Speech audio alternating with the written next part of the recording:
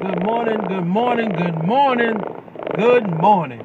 It's Sunday. I believe it's July something. I don't even know. July 23rd, 24th, um, 2017. I'm out here in a vehicle. Yep, one of the vehicles I have for sale.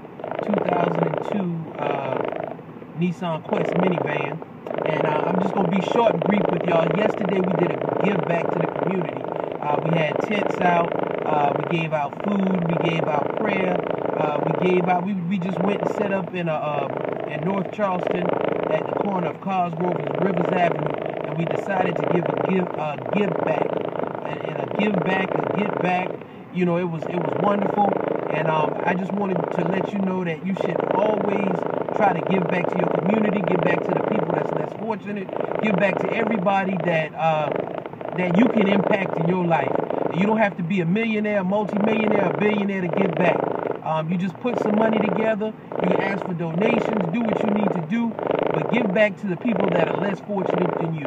And um, I, I, just thank God for everything He's done for me as far as you know my businesses and my success, my family, my household. So what I'm doing is just giving back to the community.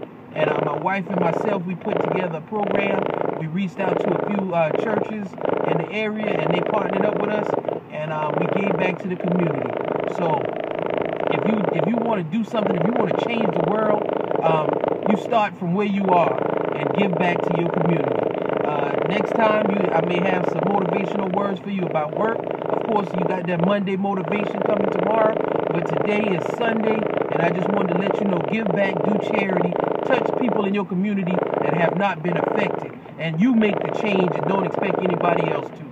Peace out, Big Wolf Taxicab TV. Talk to you later, and y'all have a great day and get motivated, baby! Yeah!